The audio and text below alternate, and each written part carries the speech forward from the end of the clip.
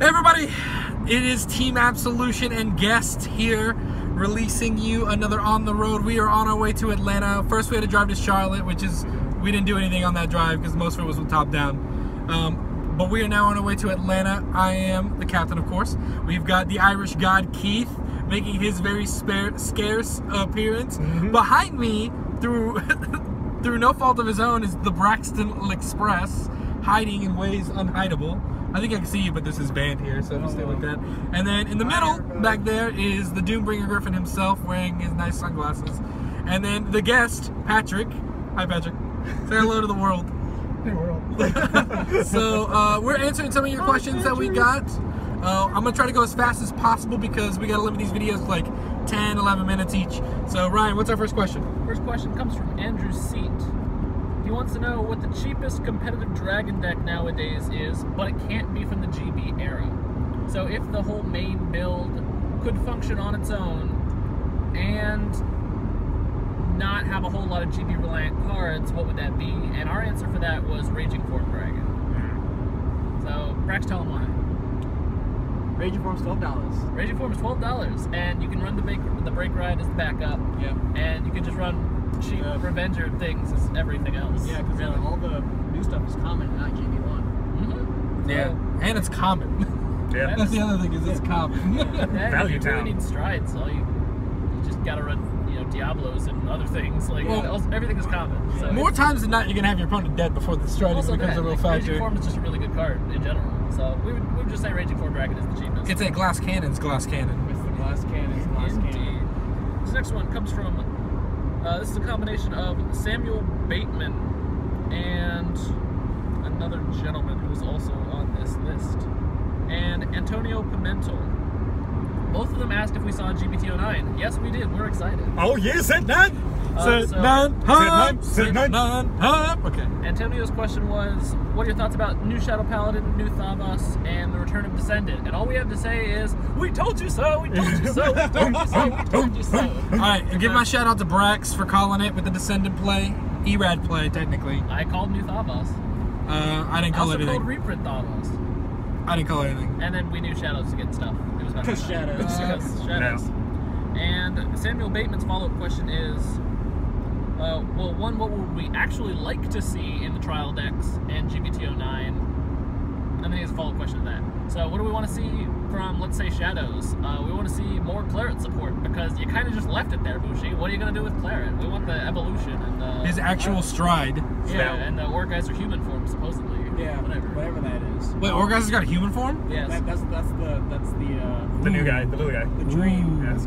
Hello, Right. Dream. That's that's the dream. I want, Can he draw cards too? I want, I want more dudes like Hal that do things when they're sacked. Like Sharon. Yeah, that card's stupid. Yeah. I want to see more of that stuff too because that card was cool. Like I want more generic things, just like oh, when this card is sacked, things happen. like when I saw I played Brax a good time when he's played that deck, the Diablo deck, and and every time he does it, I don't like it because it's like it's like good, but like at the same time, I'm just like, man, that's really techy. That's actually like a really well designed card. Yeah. I just think it's well designed. I want to see more stuff like that. I like seeing well designed cards, Bushi. From Thavas, I want something that does more on the first stride. Doesn't just put 5k and something else in the macro. Like that's okay, but I don't know. Give me some calling. Give me some, you know, something or other that allows me to actually get access to my resources, or give me like a good, really good setup for Lambros. Give me I Ti- want I Tidal want, Bore I want, oh. I want the Direath to my to my you know. I want the Direath in Aquaforce. Yeah. I want like- Descendant to be a, the Descendant Grade Four to be a perfect homage. The Descendant is going to be sack four E-Rads, restand, get a crit. That is what it's going to be. You mean discard hand, four? dis- Yeah, discard yeah, four. yeah, it's, it's not sack. Discard. Sorry. Discard four E-Rads from hand. Homage to something else entirely. If it does, if it doesn't hit, restand, get a crit. No, I do think that Ryan brought up when I talked to him that it'll probably be, it'll probably be like the that uh, discard four Erads. If it doesn't stand, if it doesn't hit, get a, a restand.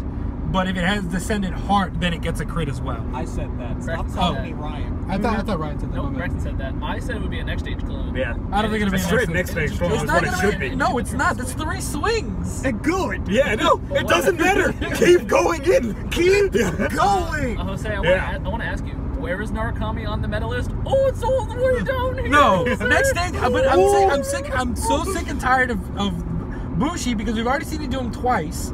Um, I don't want to see him do Third it time's the charm, I don't want to see him saying. do it third times. But look at a sub clan and be like, oh man, we should probably bring this in. Like, oh, let's just take this generic ass stride from Gear Chronicle and cop clone copy it to another We clan. literally complained about how good that was. No, yeah, that's why I don't want to see it. It's a terrible strategy. But it would be so good for Get descending. Yeah, Samuel Bateman's stab you in the follow- eye. Mr. Samuel Bateman's follow-up question is: Along with the latest anime episode, what are your opinions on Chronofang Rebellion and Demiurgus, Um, all right, the from- Deus Ex Machina?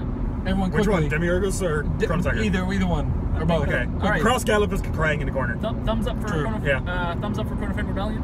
Thumbs up. Thumbs up. Thumbs up. Bra- Braxton is unconvinced. Okay. Braxton doesn't think. Braxton wants to see more support first. Of course, we want to see more support, and we feel the same about Demiurgus, which is, Yeah. yeah. it's really cool that you can stack the deck for half the game, but really, what are you going to do with that? And also, never shuffle the deck ever again. Yeah. Yeah. like it's cool that you can predict, like, you know, down to the I can get two heel triggers and a crit off of this swing. And Don't touch those a heal trigger for Air your Waters. turn. You know, I can do whatever I want. Yeah. But at that point, you can't use any more time leaps, and you have to have Or this, any more Urlus. or yeah, any any. You can't use anything else that shuffles your deck. Um, But also, you need the 12 Zodiac Time Beasts, which we only have seen four to maybe five of them, so I don't even know if we've seen that many. So we really need to see how that deck operates and how you get all those things to the bind zone, because they really need to have effects that either bind themselves or do things when they are bound. See, for me, I think that uh, I agree with everything you said. I just think that Demiurgus needs to be absolutely needs more support to make it even close to justifiable. For me, Rebellion doesn't need as much No. because drop a card, bind a card may be an expensive cost, but, that damn, can that, be- a card crit and an extra Urwater. drive check can end a game. That card can be Urwater. What? That card can be Urwater. That's why they didn't. ma- That's why they made it drop a card, not to Yeah. bind something or like Uh-huh. CB more, because you can. If you have the combo, it doesn't cost you anything. Yeah. But I also think we're missing out on the rest of Demiurgos. I think there's something else. Well, You think they're- there's The anime's gonna have. I think the building anime's gonna have head something without else. A body. Yeah. We need we need the body to Mhm. figure out what's going on down there. You know. Yeah. I mean, I think keep saying there's more to the skill that we just don't know. Yeah. That's That's what I think. Maybe, uh, maybe, maybe, uh, maybe WinCon. Uh, Wincom? Maybe Is a that? WinCon. You know, Whispers? it'll win Yeah. when you can stack the rest of the game. If you stack them in a particular order, WinCon. All right. Um, Second in the order of the Zodiac game. Yeah. And our last question, real quick. What makes a deck competitive? So we've said, you know, over our state of the meta videos, over our damage checks on which builds we think are competitive, and we try to build those builds. And we have, you know, 25 odd decks between all of us. Actually, more like 30 now that Keith's here. Yay. Yay, 30 decks. So we have 30 so-called competitive decks at various levels. You know, some we'd call, you know, tier 1.5, tier two, you know, all the way down to we still have plows for some reason. But but what makes our builds or the decks that we choose to tournaments competitive? And what about the decks that we don't have, like Dark Face? Do we not think that's competitive? Or how do we make our decisions, basically? You mind if I uh, run That's all you? run right here with this? Okay. So, for me, and I think for the team, I think, and if I disagree, if anyone disagrees, but at the end of the day, what makes a deck competitive breaks down to results at the highest, at the higher levels. And what do you mean by higher level? Not a locals. We're talking well, well attended, well attended ARG slash Bushiroad events across the world. Results, and not results generated in some kind of weird statistical lab where you generate these results by excluding certain variables, so on and so forth. We're talking about hard results. This isn't some ethical question where you don't, you can't actually sit down and look at these numbers. We have hard data as to how these decks have performed over time, what's made these decks perform over time. So, for example, the answer: Do we not think Darkface is competitive?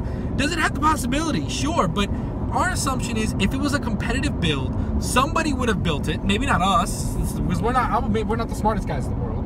But somebody would have found a way to make it work. Somebody would have played it. Somebody would have won continuously at the competitive level. And then it's a competitive deck. For me, it all breaks down to results at a higher stage. How does this deck do against other decks that are played at that higher stage?